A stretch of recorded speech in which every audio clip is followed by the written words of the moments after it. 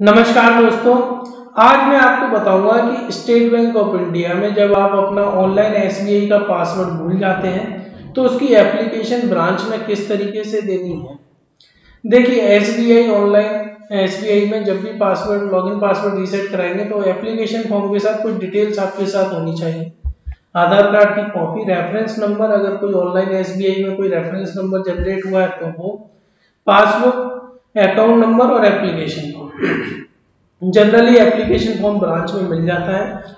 अगर ब्रांच में ना मिले तो नीचे डिस्क्रिप्शन बॉक्स में मैंने लिंक दिया हुआ है, वहाँ से डाउनलोड करके आप ब्रांच में सबमिट कर सकते हैं। आइए आप वीडियो देखते हैं कि किस तरीके से हमें यह करना है। नमस्कार दोस्तों तो आज मैं आपको बताना चाहता हूँ कि कस्टमर रिक्वेस्ट फॉर्म कैसे भरते हैं।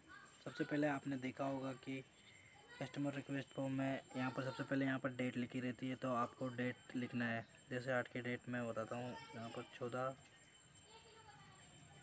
ग्यारह,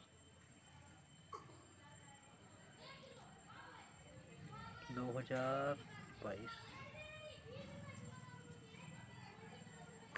उसके बाद आता है कस्टमर नंबर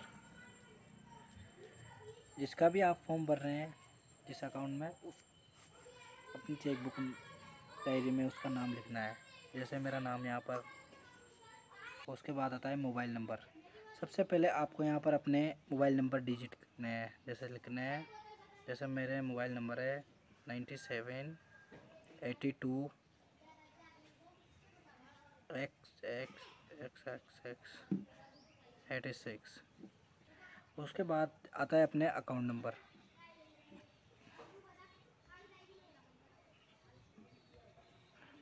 अकाउंट नंबर पे आपको यहाँ पर अकाउंट नंबर लिखने हैं, जैसे मेरा सेवन यहाँ पर आपको लिखना है ब्रांच नेम जैसे आपको इस, किसकी ब्रांच है आपको, वो ब्रांच यहाँ पर लिखनी है, जैसे एस उसके बाद आपको जो भी आपकी प्रॉब्लम्स है, उस पर आपको क्लिक करना है, जैसे मेरे इंटरनेट बैंकिंग सर्विस तो पहले अपन को यहाँ रिक्वेस्ट पे क्लिक करना है, और जो भी आपकी प्रॉब्लम है, जैसे कि मेरी प्रॉब्लम लॉगिन पासवर्ड की है। तो मैं यहाँ पर क्लिक करूँगा। उसके बाद डायरेक्ट आपका यहाँ पर नाम आ जाएगा।